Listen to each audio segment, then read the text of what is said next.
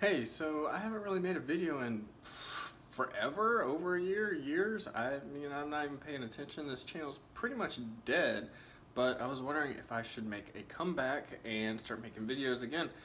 If uh, you guys are still seeing these videos and it's hitting your subscriber notifications, just let me know. Like, leave a comment, uh, say an opinion. Would you like me to do vlogs? Like, should I make a comeback? Do my videos suck? Uh, are you just a bunch of dead inactive subscribers? I don't know, but you know, I still have like nine to 10,000 subscribers, but recent videos don't really get any views, so I just kind of gave up on the channel. But uh, just leave a comment and let me know if you can see this video, if it's showing up in your subscriber feed, um, if you guys miss me, just anything. Um, Cause I'm willing to make videos again, but if I'm getting like 10 views on a video, then it's not really any point because it requires a lot of work. So maybe I should do vlogs, should I do stupid humorous videos, just comment and just let me know you saw the video. Like, I don't want to see actual numbers. Like, just comment and be like, hey, yay, you're back. We want you back. Like, if you miss me, then say, I don't know.